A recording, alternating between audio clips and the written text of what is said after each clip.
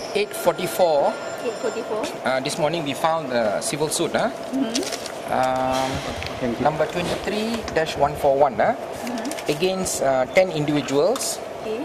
Uh, the first defendant uh, by Waytha Moorthy, uh, who's the chairman of uh, Hindraf, against uh, the deputy chief minister of Penang, uh, former EXCO member of Perak, uh, Sivanesan, uh, Ganabatirau, and ASP Vasantha Kumar, and, uh, s- and uh, six other media, three Tamil press, uh, Malaysiakini, Malaysian Insider, Star Publications, and uh,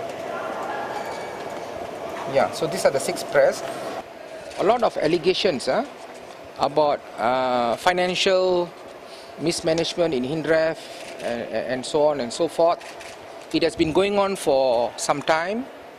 Um, our office, legal office, was closed.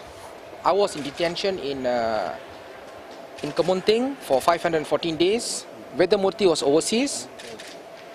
Uh, we had great difficulty, uh, and then uh, our main problem was we never had a second line uh, leadership.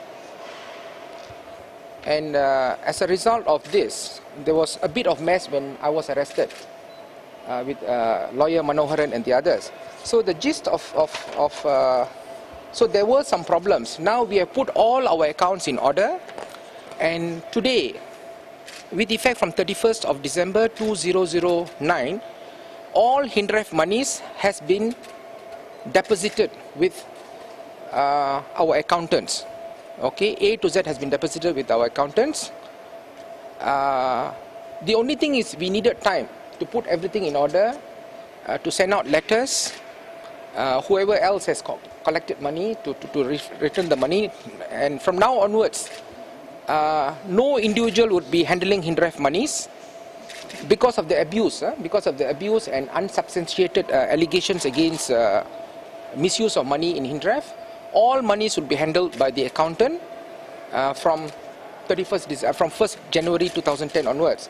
So um, we regret to say that even members of the opposition, we are fighting an issue. Like for example, Kampung Buah Pala. When we fought Kampung Buah Pala, uh, they must address the issue. But instead of addressing the issue, uh, the deputy chief minister, uh, defendant one, uh, exco member, former exco member, defendant two, uh, Ganabatirau, uh, advocate and solicitor, and ASP Vasantha Kumar uh, took advantage by hitting us back on the accounts, which is, I think, most unfair. We are talking about an issue, okay? Um, they, they cannot hit us back on, on something which is unrelated to the issue. Issue they should they, instead they must answer the question. So in our suit now, basically the main prayers, huh, the main prayers. If you refer to page 37, huh, 37,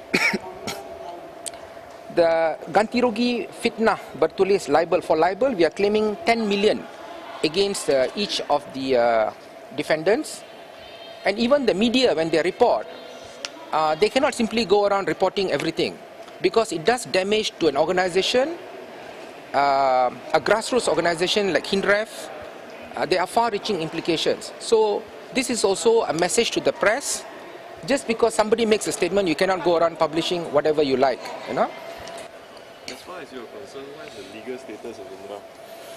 See, for us, we are entitled to exist by virtue of Article 10 of the Federal Constitution, which provides right to freedom of association. It's our right, it's our constitutional right. We are ex- exercising our constitutional right. Um, that's about it. The, the minister can revoke, but he needs a court order. In order to, to say Hindraf is disbanded, you need a court order. It cannot be a one man's decision to revoke because this is a, a, a constitutional right uh, which is the 10th most important piece of legislation in Malaysia. So it's our right. It's in the constitution. It's our right. One man cannot undo the Article 10 of the Federal Constitution. The rationale behind uh, suing uh, the media involved as well is for, number one is for them to be more cautious in future, especially when making allegations which is unfounded. Huh? Number one, just because somebody says something, you, you have a right to cover. No, I, I think they have to be more cautious. Number two, some media they like to pit one person against the other.